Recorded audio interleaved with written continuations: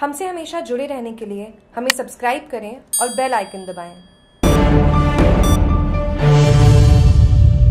बाड़मेर के सामरा में मात्र 24 घंटे में बना कोविड अस्पताल, राजस्व मंत्री हरीश चौधरी के कोविड 19 की रोकथाम के लिए अनूठी पहल अस्थायी अस्पताल निर्माण के दौरान राजस्व मंत्री पूरे समय रहे मौजूद सरहदी बाड़मेर ज़िले में राजस्थान सरकार के राजस्व मंत्री हरीश चौधरी के आमजन को कोविड 19 से बचाने के जज्बे ने 24 घंटे में रण के इलाके में एक अस्पताल को खड़ा कर दिया।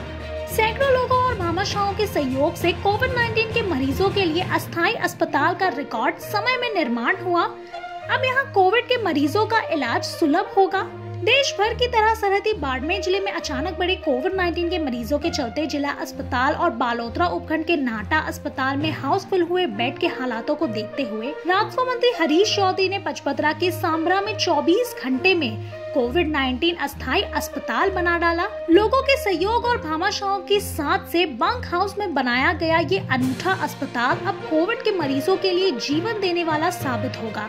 राजस्व मंत्री हरीश चौधरी ने एक मजदूर के हाथ से इसका उद्घाटन करवाया। जनप्रतिनिधियों, स्थानीय भामाशाहों के साथ साथ इंटरनेशनल बंकर निर्माता कीरी ग्रुप के ललित कीरी ने निःशुल्क बंकर मुहैया करवाया। वहीं जिला परिषद सदस्य व स्थानीय सरपंच प्रतिनिधि खेराज राम हुड्डा तथा कोसरिया सरपंच रूगाराम सारन के सहयोग से 24 घंटे के भीतर जंगली इलाके में एक वातानुकूलित अस्पताल खड़ा किया गया। जागरूक टीवी की बाढ़ में से ठाकर राम मेघवाल की रिपोर्ट।